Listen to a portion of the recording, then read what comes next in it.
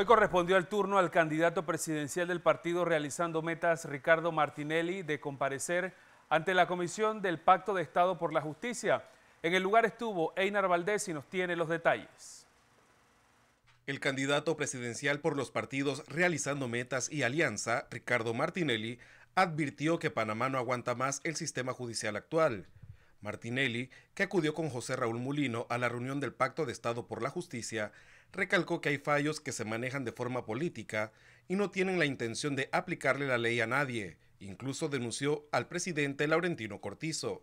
Ah, la justicia en Panamá no existe. Aquí vivimos una dictadura civil donde tenemos un parapeto de justicia, donde la justicia la manejan políticamente, los fallos se dictan desde la presidencia, la presidenta de la Corte es la que ejecuta y así no podemos tener un país. Nosotros estamos proponiendo poner, hacer en Panamá una constituyente originaria con un tribunal constitucional porque verdaderamente tenemos que cambiar la forma de hacer las cosas y la forma de hacer justicia.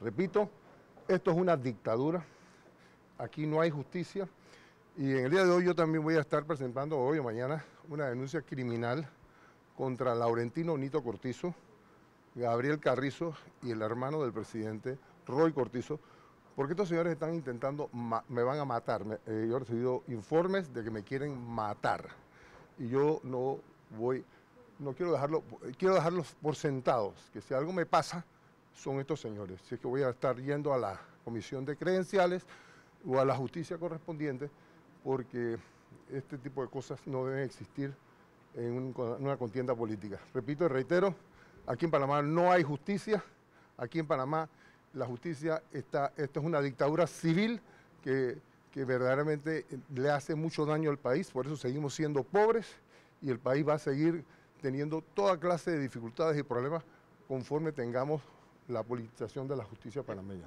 Martinelli reiteró que continuará con su proceso de campaña política frente a las elecciones de mayo de 2024, a pesar de la decisión de la Corte Suprema de Justicia.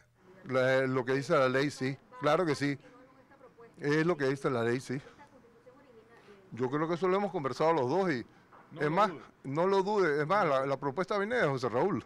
¿Considera usted que sus simpatizantes darían ese respaldo a José Raúl Molina? Yo estoy seguro de que mis simpatizantes, después de la injusticia que me han hecho, la politización, la martirización y el posible asesinato de parte de Cortizo y Carrizo, yo estoy más que seguro que los simpatizantes de Ricardo Martinelli van a votar por José Raúl Molino en caso de que yo sea inhabilitado. De todas maneras, vamos a estar juntos. Si es que de todas maneras la carabela es ñata. Que yo espero que haya justicia en este país, porque en este país lo que tienen intención es inhabilitarme políticamente, fabricándome un caso en el cual soy inocente y eh, por esto todavía no ha terminado. Yo sigo siendo candidato porque faltan aún muchos, muchos pasos y muchas cosas, con todo que se han violado todas las cosas como bien dije, me han violado a todos. Lo único que no me han violado a mí es personalmente.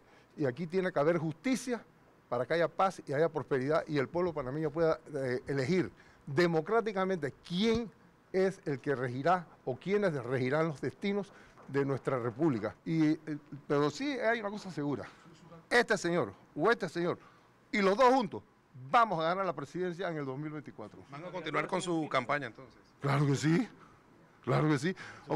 Eso se está, por eso, por eso los tipos me quieren sacar de la, de la contienda porque están cabreados que vaya a carnavalear, imagínate tú. Bueno, me van a ver, pues, ¿qué vamos a hacer? Pues por eso me quieren matar estos días. La Comisión de Estado por la Justicia entregará un informe sobre la comparecencia de todos los candidatos presidenciales que accedan a concurrir a estas reuniones. Bueno, después de esto pretendemos hacer un cuadro donde pongamos al candidato y lo que piensa de la Administración de Justicia y qué proyecciones tiene o qué eh, propuestas tiene para el tema de la justicia, porque lo hemos eh, señalado desde la convocatoria que le hicimos a los candidatos que la preocupación del Pacto de Estado por la Justicia es eso, la administración de justicia y el interés que tengan o no los candidatos frente al tema de justicia. Ricardo Martinelli, candidato presidencial, aseguró que de llegar a ser inhabilitado, sus simpatizantes votarán por José Raúl Mulino,